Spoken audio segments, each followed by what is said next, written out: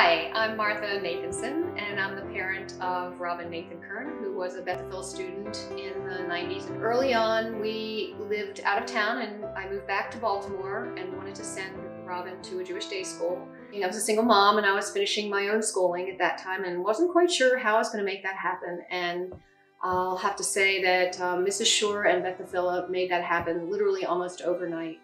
And in one of my conversations with uh, Mrs. Rosen, Mrs. Harriet Rosen, um, as I was uh, accepting a scholarship award from her, I said, you know, Mrs. Rosen, one day if I ever have two nickels to rub together, I'm going to pay this back. And she said, Martha, it's not a loan, it's a scholarship, and your daughter earned it, and I hope that you won't worry about that.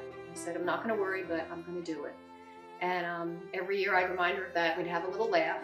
And then uh, fast forward, she graduated, uh, got married, has two kids of her own. And um, last year my mom passed away at 100. I knew in a moment that this was the time to do that. And it was something I'd been wanting to do and mom would have loved it. And I'm doing this in, in her memory, in her honor. And um, it, it really feels great to be able to, to give back in this way. Um, for everything that we received. Uh, the Jewish education that Robin got the, is fantastic. The secular education is second to none. And she has a kind of Judaism that works for her family, that's flexible, that's portable. And I think that's really something for Beth to be very, very proud of. So I'm so grateful that I was able to do this, and I hope I'll be able to do this in the future. And I'm so excited for Spotlight uh, at Beth on June 4th, 2020.